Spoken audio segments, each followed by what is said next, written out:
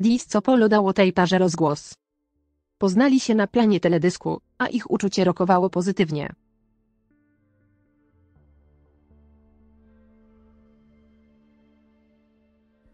Fani będą rozczarowani zamiast szykowania się do ślubu para przeżywa boleść rozstania.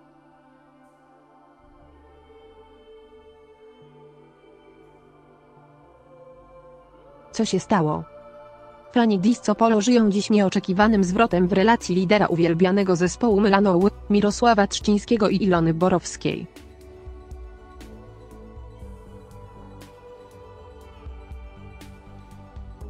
Jeszcze niedawno para zapowiadała szumnie, że przygotowuje się do ślubu. Zaskakujące rozstanie gwiazdy Disco Polo.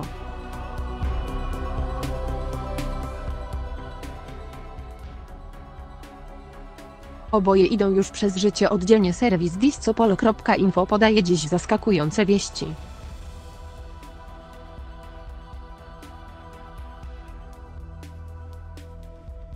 Koniec ubiegłego roku przyniósł nieoczekiwane zwrot akcji. Zamiast dopinania szczegółów ślubu para postanowiła się rozstać.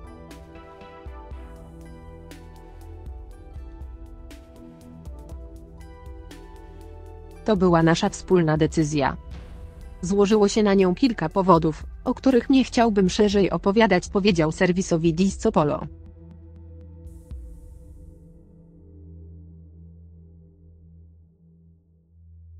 Infolider grupy Mylanou. Czytamy, że obyło się bez zbędnych kontrowersji. Obydwoje postanowili rozejść się w przyjaźni, bez publicznego prania brudów.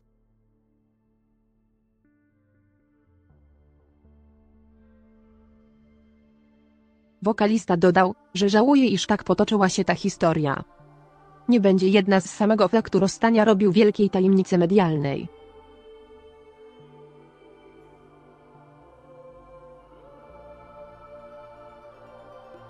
Oczywiście, że długo będę wracał pamięcią do chwil, które spędziliśmy we dwoje.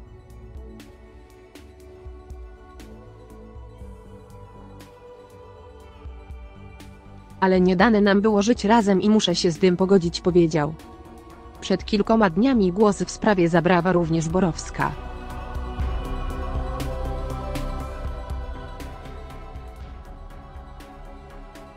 Była partnerka Trzcińskiego oznajmiła w sieci, że jest singielką.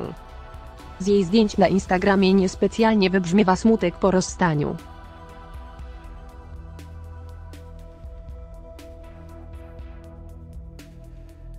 Para poznała się na planie teledysku Nikt tak nie kocha. Wtedy szersza publika mogła zobaczyć, że między obojgiem rodzi się żywe uczucie.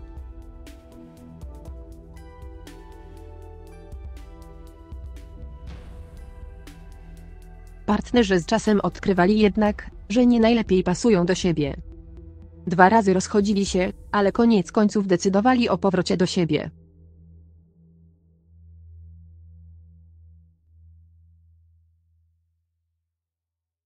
Czy jest szansa, że para wróci do siebie, czy raczej jest to już definitywnie zamknięty rozdział? Fanom Disco pozostaje śledzenie poczynań wokalisty Mylaną jak i tancerki zespołów Cassandra i Top One.